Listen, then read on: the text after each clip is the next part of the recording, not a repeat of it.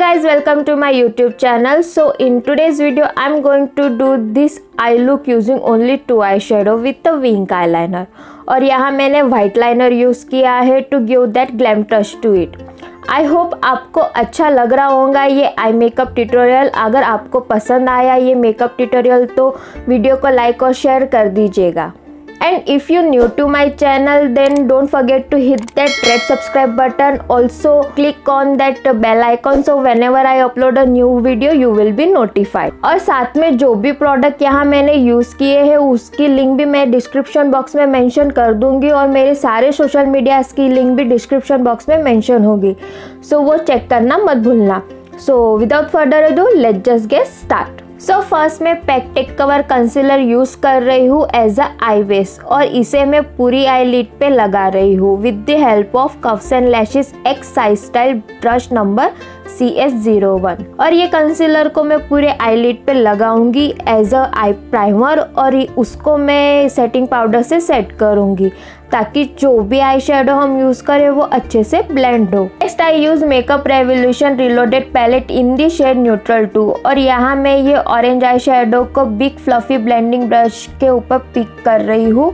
और ये eye shadow को मैं अपने क्रीस एरिया में लगा रही हूँ। और फिर आउटर कॉर्नर में भी सेम आई शेडो को यूज़ करूँगी। और यहाँ मैंने जो ब्रश यूज़ किया है वो है Kuffs and X size style brush number C S zero nine तो यहाँ मैं थोड़ा थोड़ा करके ही आई को बिल्ड कर रही हूँ ताकि वो अच्छे से कलर शो हो। अगर आप एक ही टाइम में आई को ज़्यादा लगा लेते हो आँखों के ऊपर तो उसे ब्लेंड करना बहुत ही ज़्यादा मुश्किल हो जाता है।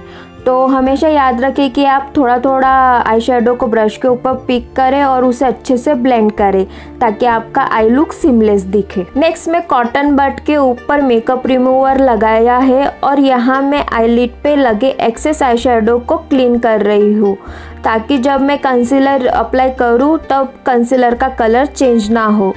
Next I use same concealer and यहाँ मैं क्रिस को हाफ़ कट कर रही हूँ, ताकि जो शिमरी शेड में लगाऊँगी वो उठ के दिखे।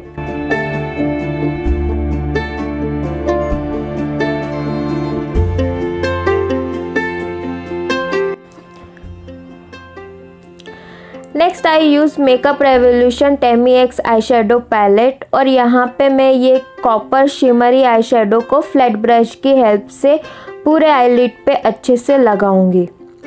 यहाँ मैं ये जो कट क्रिस किया हुआ एरिया है, इसको मैं ये शिमरी आई से अच्छे से कवर कर रही हूँ। फिर बिग फ्लफी ब्लेंडिंग ब्रश की हेल्प से ये आई के एजिस को अच्छे से ब्लेंड करूँगी ताकि हमारा आई सिमलेस दिखे। After that I use Kuffs and lashes cover pot in the shade number seventeen ये वाइट बेस प्रोडक्ट है, इसे मैं आज आईलाइनर के तरीके से यूज़ कर रही हूँ। सो so, यहाँ मैं ये लाइनर को जहाँ से हमने क्रिस को कट किया है वहाँ पे लगा रही हूँ। यहाँ मैं थोड़ा थोड़ा प्रोडक्ट लेके लाइनर ड्रॉ कर रही हूँ ताकि हमारा आई मेकअप ख़राब ना हो। और यहाँ मैं Kuffs and lashes X size style brush number C S zero eight की हेल्प से लाइनर ड्रॉ कर रही हूँ। फिर मैंने सेम ऑरेंज आई शेडो को लोअर लैश लाइन पे भी लगा रही हूँ ताकि पूरा आई लुक एक सा दिखे। Next I use Nykaa gel eyeliner और यहाँ मैं विंक आईलाइनर ड्रॉ कर रही हूँ। मैंने डिटेल वीडियो बनाई हुई है आईलाइनर कैसे अप्लाई करते हैं, उसकी लिंक भी मैं डिस्क्रिप्शन बॉक्स में डाल दूँगी। सेम जेल आईलाइनर को मैं अपने लोअर लेश लाइन पे भी लगा रही हूँ to give that smoky effect to the eye after that I use Maybelline total temptation mascara और इसे मैं अपने अपर और लोअर लैशिश को अच्छे से कोट कर दूँगी।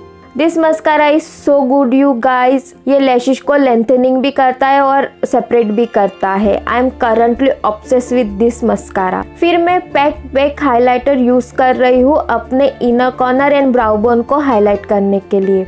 This step instantly glamming up entire eye look for lipstick I use faces Canada weightless matte finish lipstick in the shade divine mauve और यहाँ मैंने फॉल्स लैशेस लगाए हैं, जो मैंने मिंक लैशेस के इंस्टाग्राम पेज से परचेस किए हैं। लैश नंबर है three D one zero nine this is a final look guys I hope आपको पसंद आया हो आज का ये आई मेकअप ट्यूटोरियल और इसे क्रिएट करने को सिर्फ़ दो आई शेडो लगे हैं। आई होप आज का ये वीडियो आपके लिए हेल्पफुल होगा। और आपको ये वीडियो कैसी लगी मुझे कमेंट करके ज़रूर बताना। और आपको मेकअप रिलेटेड क्यूरीज पूछनी हो या मुझसे चिटचैट करना हो तो do follow me on Instagram and also don't forget to like, share and subscribe to my channel. Till then, bye.